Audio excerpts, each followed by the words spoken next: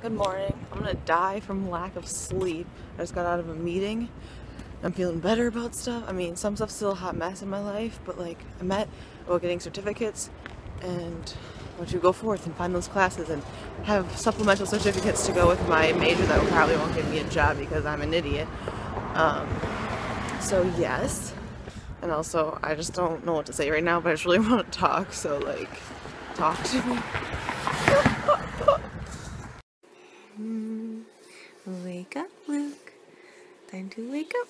Time to wake up. Here you are.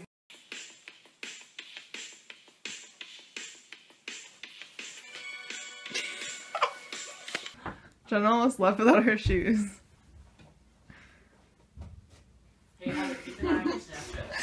What did you do on my Snapchat? Oh no, I said keep an eye on your Snapchat because I'm gonna send you something really funny. Okay, I'll be waiting. Michael almost Michael almost left with my boots on. I did, but then kind of snitched on. Are those actually your shoes? Yeah, Are you sure? yeah, they are. Trust me. Okay. I'm just not putting them on all the way because I'm lazy. Ugh. You're a mess right now. There's kind of what is happening right now. Okay, turn this way towards the light. Oh yeah, Kenna's gotta Kenna's for one warm.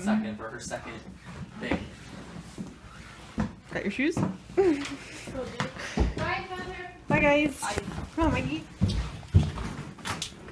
Mm. So I went grocery shopping after work, and now I made. I just really wanted lasagna, and so I bought this stuff and I made lasagna, and I made half of it with zucchini, onion, mushroom. I think that's it. And I want. I wish I put more in it, but I did half of that, and then Jenna and Michael came over and they had some of it, but they're a little pickier, and so I had left some of it without it, and they really liked it. So I'm really, I'm, I'm like yes, yes. They're picky, so if they like it, I did pretty good. Yeah, and I just want to eat the whole pan because it's just really good. But I'm really full, but it was really good.